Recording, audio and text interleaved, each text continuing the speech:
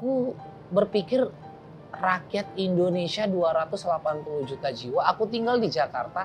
Aku ada di marketplace yang tepat. Hmm. Kenapa ya Indonesia nggak bisa seperti itu? Saat sampai di Jakarta apa memang langsung terjun di dunia fashion atau ada pekerjaan lain sebelumnya? Enggak, aku tahun 2009 masuk Jakarta. Kerjaannya itu cuci piring. Kemenangannya adalah karena aku ada di Jakarta. Di ibu kota. Artinya semua center itu ada di Jakarta. Industri entertainment kita ada di Jakarta, pemerintahan ada di Jakarta. Jadi opportunity orang-orang yang berjualan di Jakarta ini adalah pedagang yang di Jakarta ini sangat besar. Betul. Sepanjang mereka mengerti apa yang mereka kerjakan, sepanjang mereka mengerti apa yang mereka kerjakan. Problemnya banyak para pengusaha yang tidak mengerti apa yang sedang dia kerjakan, Oke. ya. Eh, maksudnya gimana? Karena kita ini ada di Jakarta, didominasi sama orang-orang yang memang konsumtif. Ya. Kita sangat konsumtif sekali ya. Dan orang-orang yang di Indonesia juga bukan cuma Jakarta, mostly orang Indonesia itu sangat lebih konsumtif daripada Eropa dan Amerika. Jadi eh, mereka kita haus akan sesuatu yang baru. Jadi kalau si pengusaha tadi yang terutama yang terjun di industri fashion, dia cuma jualnya itu itu melulu, itu itu melulu, aku pikir dia akan mengeluh eh, zaman sekarang. Nah, bagaimana tadi bisa baju-baju ini tadi sampai di kalangan public-public figure, ada di TV-TV itu relationship ya, pengembangan relationship. Eh, kita ada yang kita coaching sendiri, maksudnya aku yang offering sendiri ke public figure A, B, C, ada mereka yang datang ke saya dari referensi, biasanya itu referensi dari satu artis ke artis yang lain, dari satu public figure ke public figure yang lain, dari satu acara TV ke acara TV yang lain, seperti itu. Tapi masalahnya bagaimana kita diperhitungkan, itu yang jadi pertanyaannya. Bagaimana supaya kita diperhitungkan tadi, itu tadi, kita harus bisa different, kita harus bisa berbeda. Oke. Iya, kita harus berani berani berani warna, berani style, berani berani berani ini juga ya, berani support juga.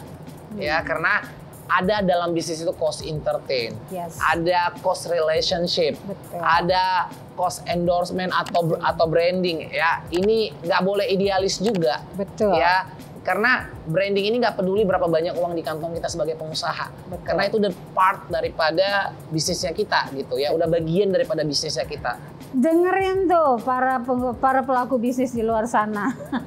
Jadi kalau lo mau produk lo laku atau produk kamu kalian itu dikenal oleh banyak orang, yang Iya. paling penting adalah siap berani cost branding sih. Yes. berani cost branding. Cost branding itu bukan cuma materi dan moral materi ya moral juga. Apa maksudnya? Hmm. aku lebih ke relationship dan strategi aku sih lebih ke ke relationship sama ya support aja. Aku kalau untuk packaging bukan yang apik dalam dunia per packagingan karena setelah dia beli bajuku packagingnya juga akan dibuang kok gitu.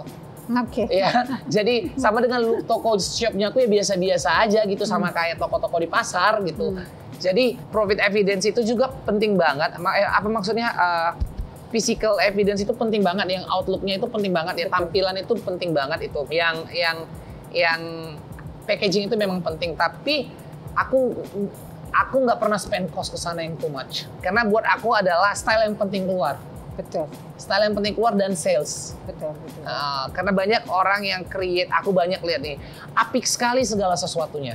Mm-mm. Ini apik banget, rapi banget, tapi sales kamu berapa? Gak sebanding dengan kerapian yang mereka create tadi.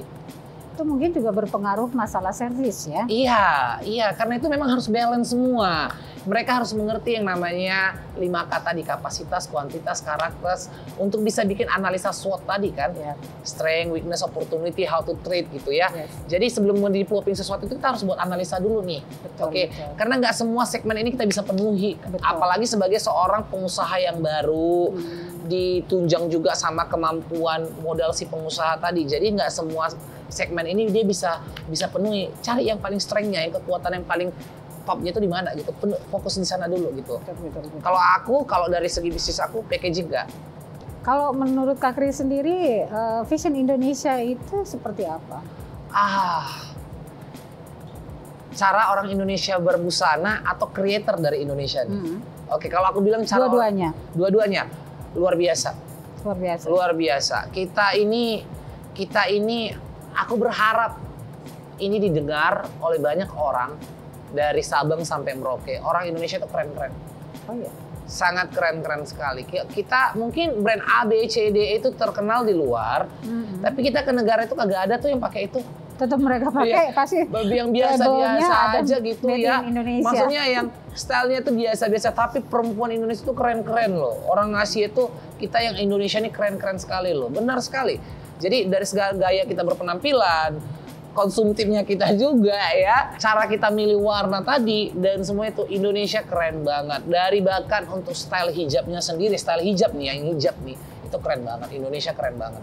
Jadi Indonesia ini bisa dikatakan center fashion sih center fashion negara yang harus di- yang harus diperhitungkan untuk skala internasional karena banyak sini desainer-desainer hebat ya ada Ana Avanti Betul. ada Ivan Gunawan ada Oscar Lawalata. Ada ada ada banyak ada banyak sekali ada banyak sekali yang mungkin nggak tersebutkan nama. Ini orang-orang hebat semua nih. Ya orang-orang yang memang sudah waktunya Indonesia itu punya brand untuk diperhitungkan di skala dunia. Yang kita main contohnya gini Kare. Kita main ke Amsterdam di di di, di downtown itu ada outlet Indonesia merek Indonesia di sana. Kita main ke Paris ada di sana outletnya kita. Kita main ke New York ada di sana. Kita main ke Los Angeles di seluruh dunia. Jadi dreamingnya aku di sana sih. Mungkin hal ini bisa tercipta dari kesehatian para orang-orang yang bekerja di industri fashion yang ada di Betul. Indonesia. Eh, let's say nggak usah bawa satu nama individu, let's say bawa nama negara yang Betul. memang susah untuk menyatukan sehati sepikir itu susah. Tapi aku percaya itu bukan hal yang mustahil. Hal yang susah dan mustahil itu dua hal yang berbeda gitu. Itu sih karena karena mengingat konsumtifnya orang-orang Indonesia. apa pentingnya sebuah brand itu untuk benar-benar uh, ada outletnya itu di uh, satu negara yang benar-benar menjadi senternya fashion.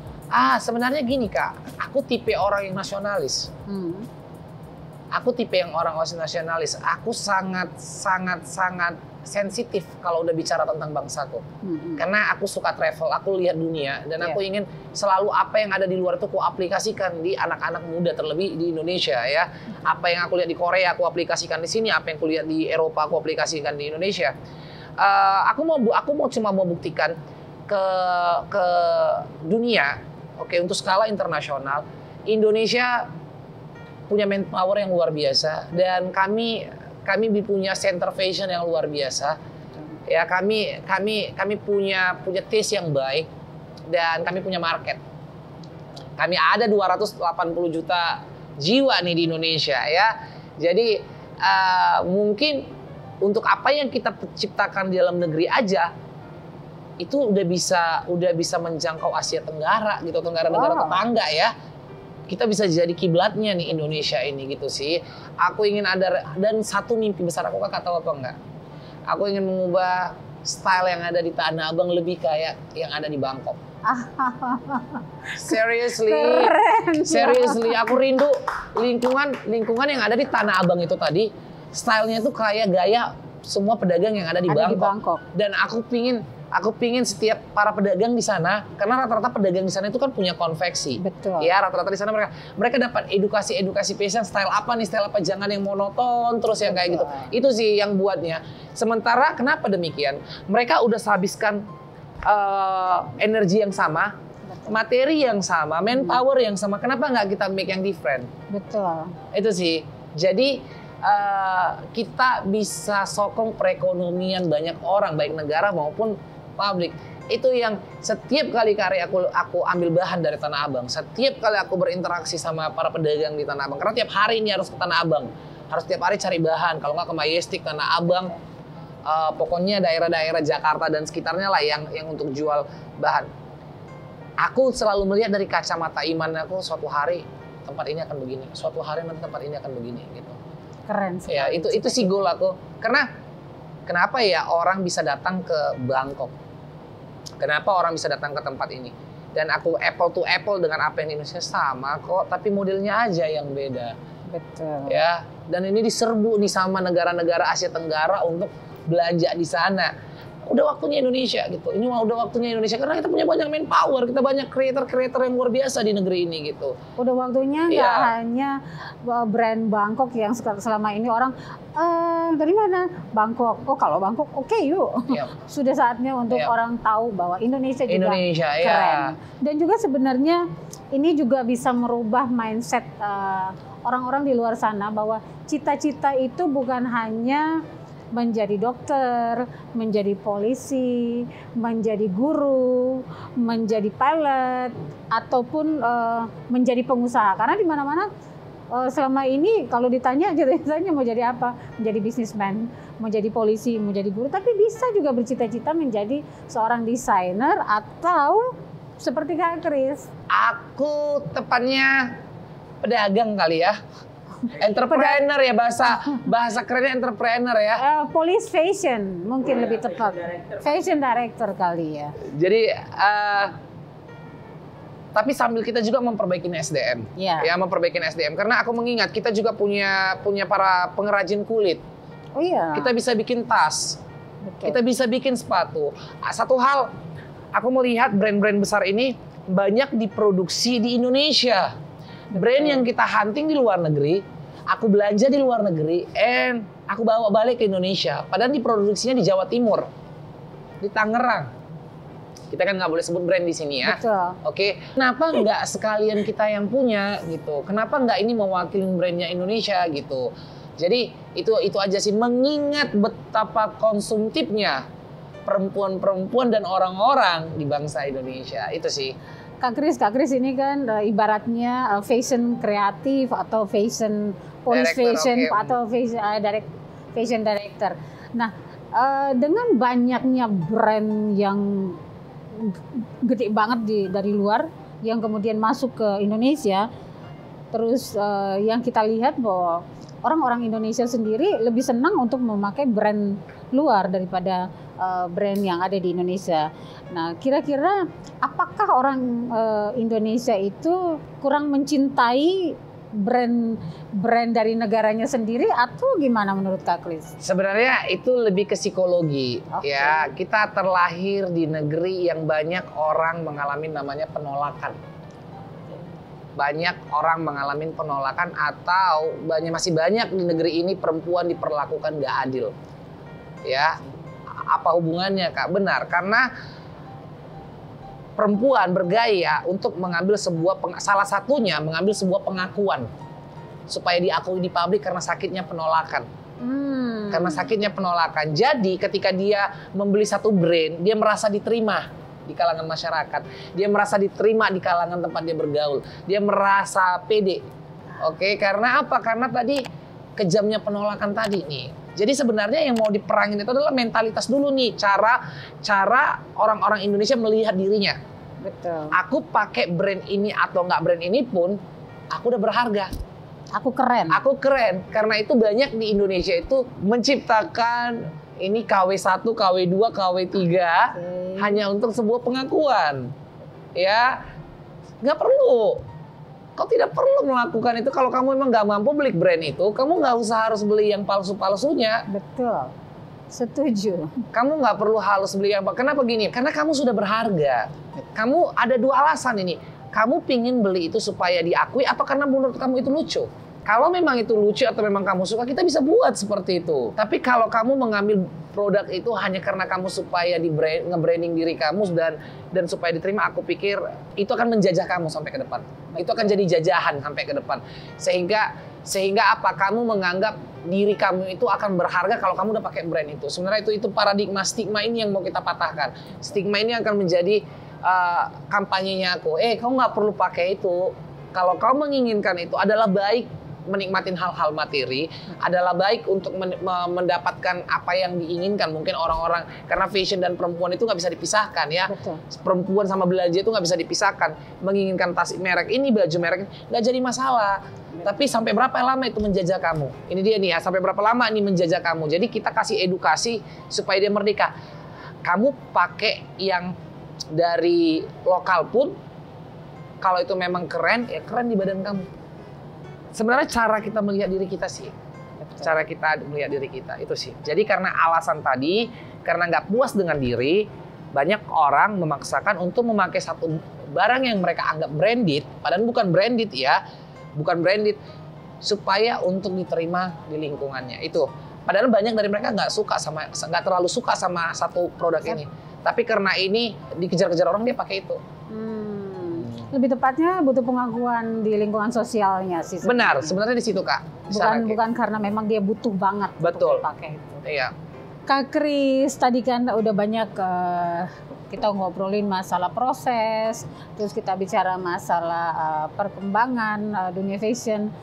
Eh, satu pertanyaan aku, eh, kira-kira selama proses Kak Kris sampai dengan pencapaian yang Kak Kris capai saat ini, apakah ada titik terendah Kak Kris? Kalau titik terendah sih secara pikiran ya, secara Hmm. pikiran tapi secara realita enggak. Waktu COVID. COVID, oke. COVID benar. Jadi ketika COVID pemeri- tahun 2020 Maret pemerintah umumkan kita akan PPKM. Betul. Dan waktu itu kita mau lebaran di bulan 5 kalau nggak salah. Dan le- itu lebaran pertama kita yang hadapin yang namanya COVID. Dan sebagai pedagang fashion semua nasional itu tahu nih eh, lebaran itu adalah ajang cari profit yang paling besar tuh Betul. ya. Jadi sebagai produsen aku harus create baju-baju lebaran. Dan waktu itu aku udah create baju lebaran untuk prepare lebaran tapi ya karena covid nggak jadi keluar bajunya. Ya itu ada 2000 baju lebih waktu itu. Eh, dan masih ada sisa-sisa bahan juga tuh di masih banyak sisa-sisa bahan di konveksi yang aku minta para pekerjaku untuk menggantinya ke masker. Ganti langsung buat masker yang tadi baju mau buat baju lebaran jadi buat masker nih ceritanya ya. Nah aku salah satu salah satu founder juga lah ya untuk ciptakan masker kain di Indonesia ya. Oke. waktu covid kemarin. Dan kami meretribusikan hampir satu juta masker Wow. ya kami buat dari konveksinya aku. Waktu kalau dibicara titik terendah sih waktu covid aja sih. Hmm. kalau untuk sama yang kedua itu manpowernya. Oke. ya lebih ke ke karyawan-karyawan pekerja-pekerja. Sebenarnya di sana. Karena aku tipe orang yang harus cepat. Tap tup tap tup tap tup dan kita mengedukasi orang-orang memang yang harus harus pelan-pelan diajarin pelan-pelan. Ya biasalah ini emosional yang dialami semua banyak para Betul. pengusaha ya. Apalagi tipe yang kayak aku tipe orang yang punya visi nih. Betul. belum selesai satu aku harus sudah suruh buat yang lain lagi. Belum selesai yang ini udah suruh lagi nih ah, visioner. Betul. ya. Jadi yang kerja sama aku itu memang harus betul-betul tahan banting. Karena baru aja aku kasih lima menit lalu dia kasih tugas dia harus tambah lagi tugasnya gitu. Karena ide-ide itu selalu ada di dalam pikirannya kita ya. Oh buat ini buat ini buat ini jadi kalau bicara titik rendah sebenarnya enggak. Enggak aku nggak mengalami titik rendah yang sampai gimana banget dibanding sama beberapa lah teman-teman yang dari industri fashion juga yang ngalamin dampak covid yang besar. Ya thanks God aku enggak. Capek banget memang angkat barang ke rumah ke toko ke rumah ke toko karena ppkm yang buka tutup Betul. buka tutup buka tutup. Di situ sih. Dan lebih memikirkan nasib karyawan. Betul.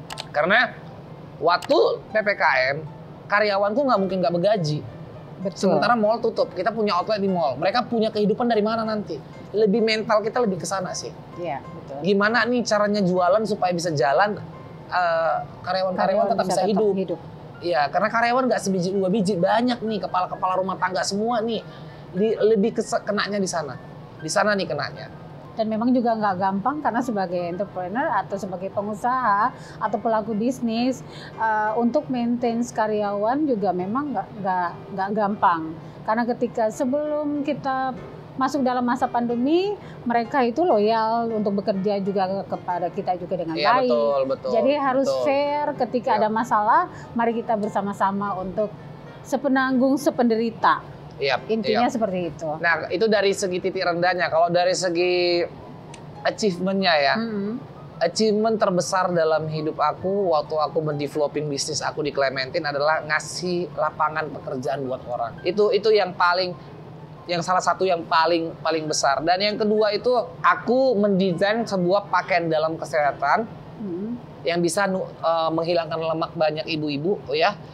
Pakaian dalam aku itu banyak sekali testimoninya dan mereka bisa bisa turun berat badan 3 sampai 4 kilo. Dan setiap hari itu selalu ada ibu-ibu yang mengatakan terima kasih, terima kasih aku lebih percaya diri, terima kasih eh, pinggangku nggak sakit lagi, oh bentuk badanku udah lebih baik, oh aku lebih percaya diri sekarang. Dan sukacita mereka itu achievement aku dibandingkan dengan apa pun yang aku raih itu paling besar sekali. Kebahagiaan daripada senyum daripada para para customer ini yang merasa puas ketika dia menggunakan produkku dan mereka lebih feel better. Itu yang itu yang itu yang memang kak yang memang nggak bisa dibayar dengan apa pun sih. Seperti yang sebelumnya, berbuat baiklah kepada semua orang dalam bentuk apa pun. Ketika melihat orang lain tersenyum, maka hatimu akan merasa damai. Karena eh, apa yang menjadi kampanye aku kak, aku menemukan banyak perempuan-perempuan Indonesia yang mengalami namanya krisis identitas. Betul. Insecure. Insecure-nya tinggi sekali. Betul. Apa hubungannya sama kembali ke topik aku tadi perempuan Indonesia di, di- terlahir di negeri yang kadangkala mereka diperlakukan nggak adil.